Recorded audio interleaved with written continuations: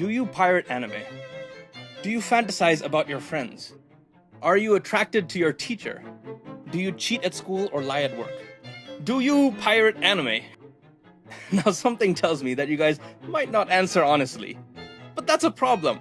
We need the answers to these questions. The government wants to know how many people are doing drugs.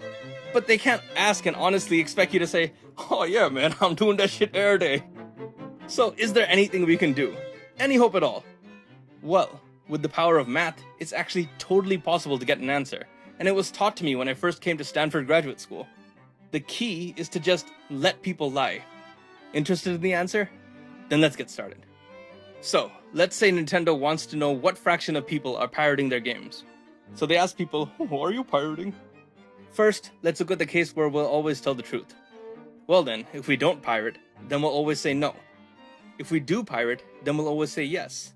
The problem here is that Nintendo will know we pirate and destroy our lives faster than you could say Mamma Mia.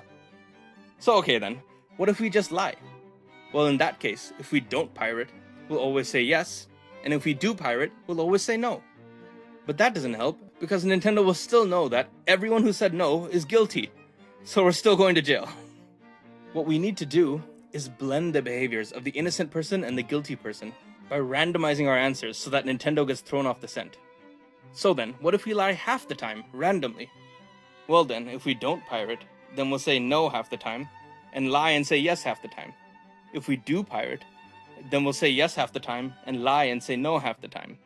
So no matter whether we're innocent or guilty, we'll act the same and say yes half the time and no half the time. And Nintendo won't be able to tell us apart. This is good for us because we don't go to jail.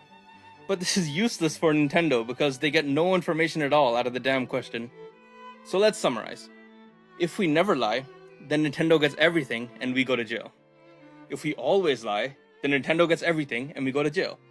If we lie half the time, then Nintendo learns nothing and we're off the hook. Basically, so far, we've accomplished nothing. Either Nintendo wins or we win. But, what if we chose a middle ground? What if we lied some fractional chance f in the middle? Then maybe we can both get what we want. Let's think about it. Let's say we lie 49% of the time. In that case, if we're innocent, we'll lie and say yes 49% of the time. If we're guilty, we'll tell the truth and say yes 51% of the time. Now there are two questions. One, can we get sent to jail? And two, does Nintendo get to learn how many people are pirating? Well, for the jail question, we're totally fine. You see, given we answer yes, our odds of being guilty only go up by 51 to 49, which is barely anything. No matter how much Nintendo wants, they can't just go to the judge and be like, Your Honor, this man is 2% more likely to have pirated. Please lock him up and execute his family. So yeah, Nintendo ain't got anything on you, and you can keep selling the 7 Seas. And so the last question is, does Nintendo get to learn the answer to their question? Do they get to learn anything about what fraction of people pirate? Well, to get mathy, let's say P is the fraction of people who pirate. And let's say Q is the fraction of people who answer yes, we pirate. Well, using some basic probability, we get that the probability you say yes, I'm a pirate will be the fraction of people who are pirates and who tell the truth, or the fraction of people who are innocent and tell a lie. And with just that, we now have an equation. Nintendo is given Q, the fraction of people who say yes to the survey, and wants to find P, the fraction of people who actually pirate. And so we simply rearrange this equation, and we get this very simple expression for P given Q. And now we've done it. Nintendo can now guess how many people pirate solely based on how many yeses they got on their survey of people lying. So the people stay safe, and Nintendo gets the answer to its question. The magic of math and probability gives everyone their cake and they can eat it too. As a quick example with numbers, let's say we lie with f equals 49% chance, and after conducting their survey, Nintendo finds that 49.2% of people said yes. Then using the formula, they will estimate that 10% of people are pirating. Nintendo gets their answer, and we don't go to jail. Win-win for both of us. Now, I've actually swept one important point under the rug, which is that we're playing with randomness, and we won't just be getting perfect fractions. You see, if you flip a coin 100 times, you won't just get 50 heads. You'll get 50 plus or minus some standard error due to randomness. For those who don't know, there's about a 70% chance you're within one standard error and a 95% chance you're within two standard errors. Now similarly, our estimate won't just give exactly the right answer.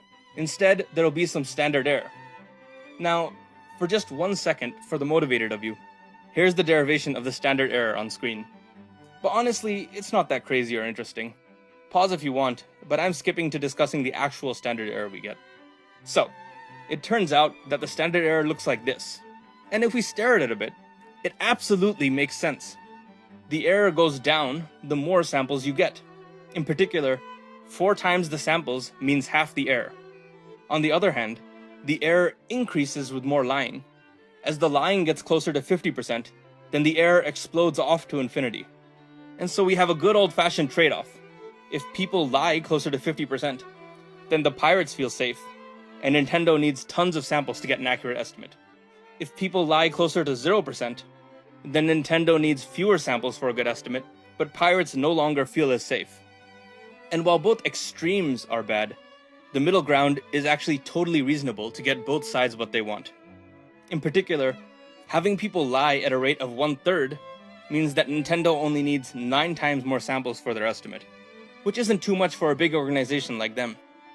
And normal people look barely any more guilty. If 1% of people were guilty, now your guilt looks at worst 2%.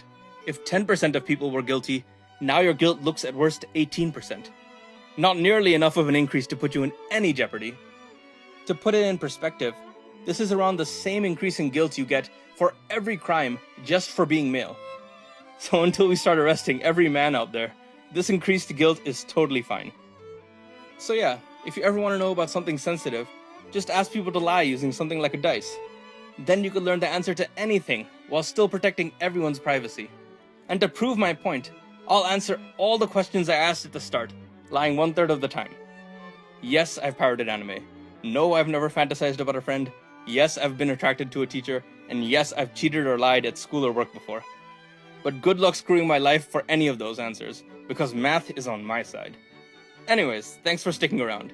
This video is motivated by 3 Blue 1 Brown's Summer of Math Exposition contest. Consider checking out some of the other entries, or making your own math video. Now if you'll excuse me, I have to go back to procrastinating on my PhD thesis again.